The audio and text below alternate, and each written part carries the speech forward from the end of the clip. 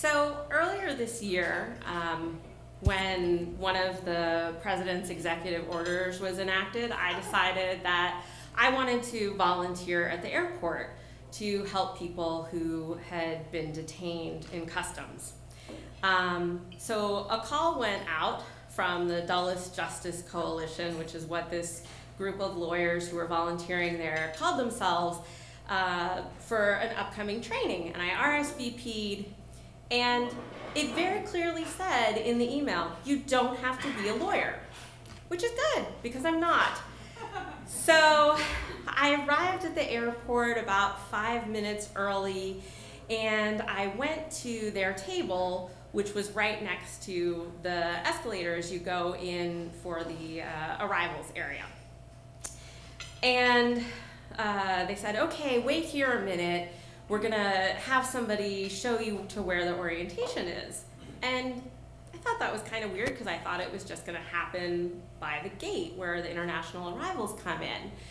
But this woman starts walking us down the length of the airport. So international arrivals is at one end, and we walked all the way to the other end, where there's a conference center at Dulles Airport in the airport, which, you know, we got back there and I was like, oh, well, this makes sense. There's a media room. Of course, if something happens at the airport, they need to have a press conference. That makes sense, but there's a whole warren of conference rooms back there. So we go through the orientation.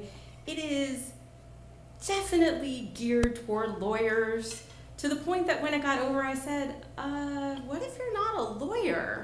Because it said in the email, and they're like, no, no, it's fine, because mostly you're just asking people questions and mm-hmm. taking down information.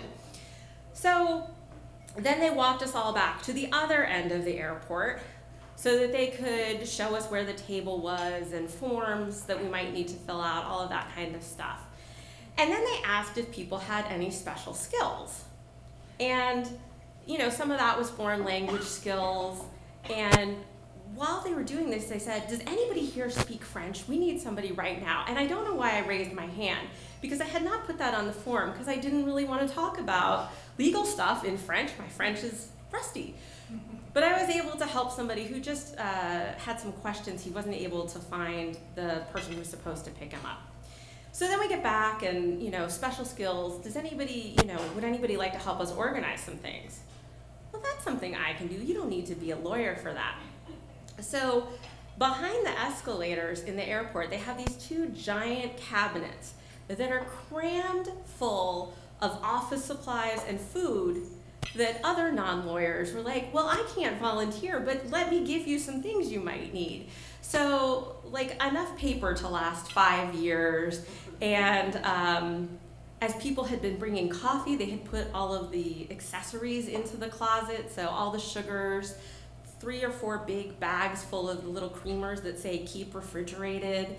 um, so my husband and I spent about two hours organizing these cabinets and um, the lawyers who were there were like, oh, you're an angel. I can't believe you did this. And I was like, well, you guys are doing the hard work. You know, this is, this is fine. This is something I can do. Well, we have another project you could help us with. And so I say, sure, we have a little more time. And then they lead us to this other part of the airport that I didn't know existed. But again, it makes sense storage.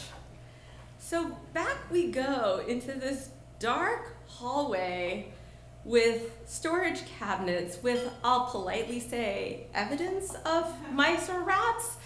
Um, and uh, we spent about two hours that night cleaning out this darkened closet and came back another day to finish the job. And so I realized there's the Dulles Justice Coalition, there's the Justice League, and my role is in the Justice Cabinet.